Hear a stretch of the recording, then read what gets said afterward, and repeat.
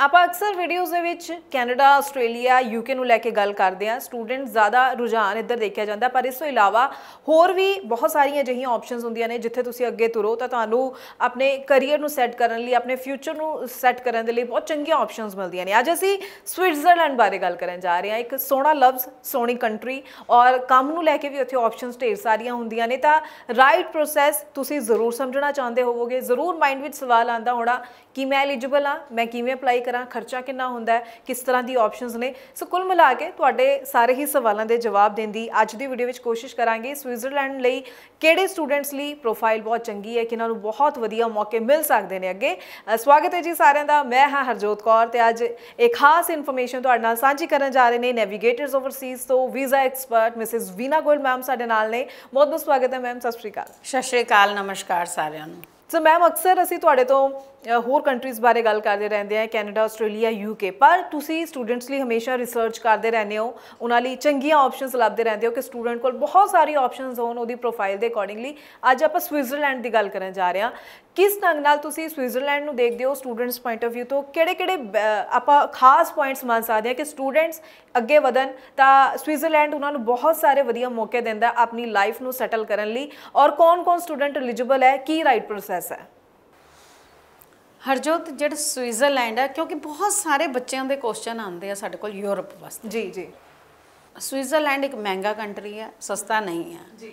ਲੇਕਿਨ ਜਿਹੜੇ ਸਟੂਡੈਂਟ ਹਤਾਸ਼ ਹੋ ਚੁੱਕੇ ਆ ਵੀਜ਼ਾ ਕਿਧਰੇ ਨਹੀਂ ਲੱਗਿਆ ਚਾਹੇ ਉਹ ਕੰਸਲਟੈਂਟ ਦੀ ਗਲਤੀ ਨਾਲ ਹੋਏ ਚਾਹੇ ਉਹਨਾਂ ਦੀ ਆਪ ਦੀ ਗਲਤੀ ਨਾਲ ਹੋਏ ਹੁਣ ਕਿਹੜਾ ਇਹੋ ਜਿਹਾ ਕੰਟਰੀ ਹੈ ਜਿਹੜਾ ਤੁਹਾਨੂੰ 101% ਵੀਜ਼ਾ ਦੇ ਦੇ ਜਦਕਿ 101% ਕਿਧਰੇ ਵੀ ਨਹੀਂ ਹੁੰਦਾ। ਪਰ ਵੀ ਬਹੁਤ ਜ਼ਿਆਦਾ ਚਾਂਸਸ ਹੈ ਕਿਉਂਕਿ ਫਾਈਲ ਫਾਈਲਿੰਗ ਕਰਨ ਵਾਲੇ ਐਕਸਪਰਟ ਕਿੰਨੇ ਆ? ਉਸ ਕੰਟਰੀ ਦਾ ਭੇਦ ਕਿੰਨਾ ਹੈ? ਇਹਦੇ ਉੱਪਰ ਡਿਪੈਂਡ ਕਰਦਾ ਹੈ। ਹੁਣ ਸਵਿਟਜ਼ਰਲੈਂਡ ਦੀ ਜੇ ਮੈਂ ਗੱਲ ਕਰਾਂ ਇਹਨਾਂ ਦਾ ਪ੍ਰੋਗਰਾਮ ਹੈ ਇੱਕ ਹਸਪਿਟੈਲਿਟੀ ਮੈਨੇਜਮੈਂਟ ਹੈ। ਨਾ ਇਹਦੇ ਵਿੱਚ ਸਟੂਡੈਂਟ ਚਾਹੇ ਡਿਪਲੋਮਾ ਕਰੇ ਚਾਹੇ ਸਰਟੀਫਿਕੇਟ ਕਰੇ ਚਾਹੇ ਗ੍ਰੈਜੂਏਸ਼ਨ ਕਰੇ ਜਾਂ ਪੋਸਟ ਗ੍ਰੈਜੂਏਟ ਡਿਪਲੋਮਾ ਕਰੇ ਜਾਂ ਮਾਸਟਰਸ ਕਰੇ ਐਮਬੀਏ ਕਰੇ। ਇਹ ਸਾਰੇ ਆਪਸ਼ਨਸ ਅਵੇਲੇਬਲ ਹੁੰਦੀਆਂ।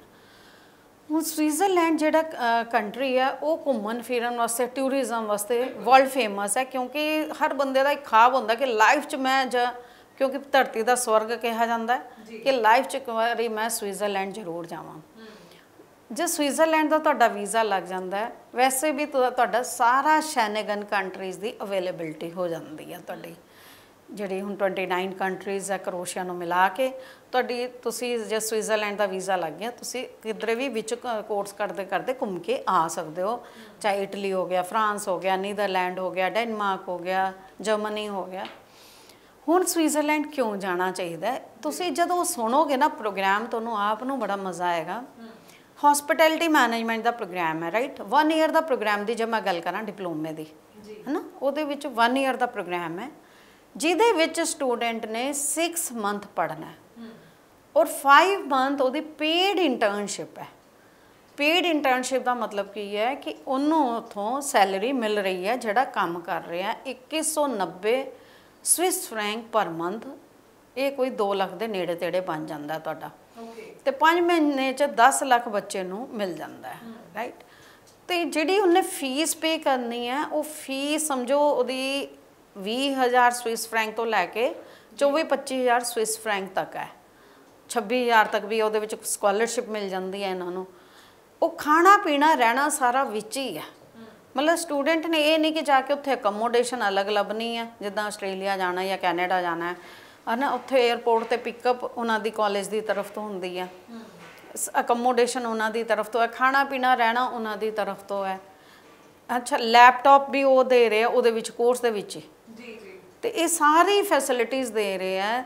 ਉਹਦੇ ਬਾਅਦ ਬੱਚਾ ਜਬ ਜੌਬ ਉਹਦੀ ਇੰਟਰਨਸ਼ਿਪ ਲੱਗ ਰਹੀ ਹੈ 5 ਸਟਾਰ ਹੋਟਲਸ 'ਚ ਲੱਗ ਰਹੀ ਹੈ ਛੋਟੇ ਮੋਟੇ ਹੋਟਲਾਂ 'ਚ ਨਹੀਂ ਲੱਗਦੀ ਹੈ ਉਹਦੇ ਬਾਅਦ ਸਟੂਡੈਂਟ ਦੀ ਮਰਜ਼ੀ ਹੈ ਜਦ ਉਹਨੂੰ ਇਹ 1 ਇਅਰ ਕੰਪਲੀਟ ਹੁੰਦਾ ਉਹਦੇ ਬਾਅਦ ਅੱਗੇ ਪਲੇਸਮੈਂਟ ਵਾਸਤੇ ਯੂਐਸ ਦੀ ਕੰਪਨੀਆਂ ਵੀ ਉਹਨੂੰ ਸਾਡੇ ਇੱਕ ਸਟੂਡੈਂਟ ਦਾ ਕੱਲ ਫੋਨ ਆਇਆ ਕਿ ਯੂਐਸ ਦਾ ਉਹਦਾ ਇੰਟਰਵਿਊ ਕਲੀਅਰ ਹੋ ਗਿਆ। ਤੇ ਯੂਐਸ ਦੇ ਵਾਸਤੇ ਉਹਦਾ 3 ਇਅਰ ਦਾ ਜਿਹੜਾ ਹੈ ਉਹਦਾ ਵਰਕ ਪਰਮਿਟ ਹੋਏਗਾ। ਨਾਟ ਸਟੱਡੀ ਵੀਜ਼ਾ ਕਿਉਂਕਿ ਸਟੱਡੀ ਇਹਨੇ ਇੱਥੇ ਕਰ ਲਈ ਹੁਣ ਉੱਥੇ ਸਿਲੈਕਸ਼ਨ ਹੋ ਗਿਆ she is going for the job ਉਹ ਜੌਬ ਵਾਸਤੇ ਜਾ ਰਹੀ ਹੈ ਔਰ ਯੂਐਸ ਦੇ ਵਿੱਚ 3 ਇਅਰ ਜੌਬ ਕਰਕੇ ਉਹਨਾਂ ਨੂੰ ਗ੍ਰੀਨ ਕਾਰਡ ਮਿਲ ਜਾਂਦਾ ਹੈ ਮਤਲਬ ਇੰਨਾ ਸੋਹਣਾ ਇਹਨਾਂ ਦਾ ਸਵਿਟਜ਼ਰਲੈਂਡ ਵਾਲਿਆਂ ਦਾ ਪ੍ਰੋਗਰਾਮ ਹੈ ਮੰਨ ਲਓ ਯੂਐਸ 'ਚ ਨਹੀਂ ਹੁੰਦਾ ਇਹਨਾਂ ਦਾ ਤੇ ਇਹ ਫਿਰ ਯੂਰਪ 'ਚ ਕਿਧਰੇ ਵੀ ਆਪਣੀ ਸਿਲੈਕਸ਼ਨ ਕਰਵਾ ਸਕਦੇ ਆ ਗਲਫ 'ਚ ਕਰਾ ਸਕਦੇ ਆ ਉਧਰੋਂ ਬੱਚਾ ਕੈਨੇਡਾ ਬਹੁਤ ਜਾਂਦਾ ਹੈ ਹੁਣ ਜਿਹੜੇ ਬੱਚੇ ਦਾ ਗੈਪ ਹੋ ਗਿਆ 10 ਸਾਲ ਦਾ ਗੈਪ ਹੋ ਗਿਆ ਜਾਂ ਉਹਦੀ ਰਿਜੈਕਸ਼ਨਸ ਹੋ ਗਈਆਂ। ਸਵਿਟਜ਼ਰਲੈਂਡ ਉਸ ਨੂੰ ਕਿਸੇ ਚੀਜ਼ ਨੂੰ ਵੀ ਨਹੀਂ ਦੇਖਦਾ। ਇਵਨ 40 ਸਾਲ ਦਾ ਸਟੂਡੈਂਟ ਵੀ ਉੱਥੇ ਜਾ ਸਕਦਾ। ਬਿਲਕੁਲ। ਬਿਲਕੁਲ ਯਾਨੀ ਅ, ਇੱਕ ਨਹੀਂ ਢੇਰ ਸਾਰੇ ਮੌਕੇ ਖੁੱਲ ਜਾਂਦੇ ਨੇ ਸੋ ਯੂਰਪ 29 ਕੰਟਰੀਜ਼ ਜਿਵੇਂ ਮੈਮ ਗੱਲ ਕਰ ਰਹੇ ਨੇ ਸੋ ਸਟੂਡੈਂਟਸ ਦਾ ਰੁਝਾਨ ਇਸ ਕਰਕੇ ਵੀ ਇੱਧਰ ਜ਼ਿਆਦਾ ਹੋਣਾ ਚਾਹੀਦਾ ਹੈ ਕਿ ਕਿਉਂਕਿ ਕੰਮ ਦੇ ਮੌਕੇ ਜਿਵੇਂ ਆ ਬਹੁਤ ਸਾਰੇ ਮਿਲ ਜਾਂਦੇ ਨੇ ਔਰ ਉਸ ਤੋਂ ਬਾਅਦ ਤੁਸੀਂ ਕਿਸੇ ਹੋਰ ਕੰਟਰੀ 'ਚ ਮੂਵ ਕਰਨਾ ਚਾਹੋ ਅੱਛੀ ਕੰਟਰੀਜ਼ ਵੱਲ ਵੀ ਉਧਰ ਵੀ ਤੁਸੀਂ ਜ਼ਰੂਰ ਜਾ ਸਕਦੇ ਹੋ ਯੂਐਸ ਦੀ ਮੈਮ ਨੇ ਐਗਜ਼ਾਮਪਲ ਵੀ ਤੁਹਾਨੂੰ ਦਿੱਤੀ ਹੈ ਕੈਨੇਡਾ ਵੱਲ ਵੀ ਬਹੁਤ ਸਾਰੇ ਸਟੂਡੈਂਟਸ ਉਸ ਤੋਂ ਬਾਅਦ ਵਧਦੇ ਨੇ ਸੋ ਰਾਈਟ ਆਪਸ਼ਨਸ ਬਹੁਤ ਸਾਰੀਆਂ ਹੁੰਦੀਆਂ ਹੈ, ਸਿਰਫ ਸਟੂਡੈਂਟਸ ਨੂੰ ਪਤਾ ਨਹੀਂ ਹੁੰਦਾ ਹੈ। ਇਸ ਲਈ ਮੈਮ ਜੋ ਹੈ ਸਟੂਡੈਂਟਸ ਲਈ ਹਰਜੋਤ ਇੱਕ ਚੀਜ਼ ਮੈਂ ਦੱਸੂਗੀ ਕੈਨੇਡਾ ਦੇ ਵਿੱਚ ਤੁਸੀਂ ਕਦੇ ਵੀ ਦੇਖੋ ਉਹਨਾਂ ਦੀ ਵੈਬਸਾਈਟ ਤੇ ਜਾ ਕੇ ਜੀ। ਜਿਹੜੇ ਹਸਪਿਟੈਲਿਟੀ ਮੈਨੇਜਮੈਂਟ ਤੋਂ ਰਿਲੇਟਡ ਵਰਕ ਪਰਮਿਟ ਬਹੁਤ ਅਵੇਲੇਬਲ ਹੈ ਔਰ ਉਹਨਾਂ ਨੂੰ ਬੰਦੇ ਨਹੀਂ ਮਿਲਦੇ। ਇੱਥੇ ਬੱਚੇ ਨੇ ਜਾਂ ਸਟੂਡੈਂਟ ਨੇ ਸਵਿਟਜ਼ਰਲੈਂਡ ਤੋਂ ਕਰ ਲਈ 1 ਇਅਰ ਦੀ ਔਰ ਉੱਥੇ ਜਾ ਕੇ ਉਹ ਜੌਬ ਵਾਸਤੇ ਕੈਨੇਡਾ ਅਪਲਾਈ ਕਰ ਸਕਦਾ। ਉਹਨੇ ਪੜਨ ਨਹੀਂ ਜਾਣਾ ਸਿੱਧਾ ਜੌਬ ਵਾਸਤੇ। ਯੂਐਸ ਉਹ ਸਿੱਧਾ ਜੌਬ ਵਾਸਤੇ ਜਾ ਰਿਹਾ ਉੱਥੋਂ ਸਾਡੇ ਕਈ ਸਟੂਡੈਂਟਸ ਨੇ ਸਿੱਧਾ ਆਸਟ੍ਰੇਲੀਆ ਅਪਲਾਈ ਕੀਤਾ ਹੈ। ਆਸਟ੍ਰੇਲੀਆ ਦਾ ਉਹਨਾਂ ਦਾ ਹੋ ਗਿਆ। ਤੇ ਸਾਰੀ ਕੰਟਰੀਆਂ ਦੇ ਉਹਨਾਂ ਦੇ ਦਰਵਾਜ਼ੇ ਖੁੱਲੇ ਆ।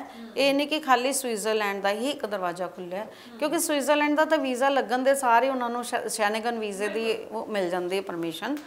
ਦੇਖੋ, ਤੁਸੀਂ ਅੱਜ ਘੁੰਮਣ ਜਾਓ ਸ਼ੈਨੇਗਨ। ਕਿਸੇ ਵੀ ਕੰਟਰੀ 'ਚ ਜਾਓ 10 ਦਿਨ ਦਾ ਟ੍ਰਿਪ ਬਣਾਓ 5 ਲੱਖ ਰੁਪਇਆ ਤੁਸੀਂ ਖਰਚ ਕਰੋਗੇ।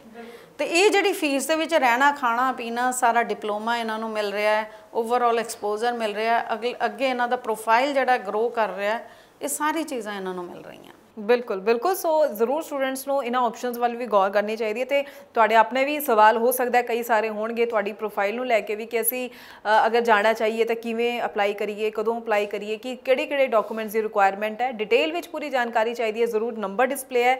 ਇਸ ਦੇ ਉੱਪਰ ਵੀ ਤੁਸੀਂ ਕਾਲ ਕਰ ਸਕਦੇ ਹੋ ਨੈਵੀਗੇਟਰਸ ਓਵਰਸੀਜ਼ ਦੀ ਟੀਮ ਦੇ ਨਾਲ ਟਾਈਮਲੀ ਕੰਟੈਕਟ ਕਰਕੇ ਮੈਮ ਨੂੰ ਮਿਲ ਸਕਦੇ ਹੋ। ਸਭ ਤੋਂ ਵੱਡੀ ਗੱਲ ਮੈਮ ਖੁਦ ਸਟੂਡੈਂਟਸ ਨੂੰ ਮਿਲਦੇ ਨੇ, ਤੁਹਾਡੇ ਡਾਕੂਮੈਂਟਸ ਦੀ ਅਸੈਸਮੈਂਟ ਖੁਦ ਕਰਨਗੇ।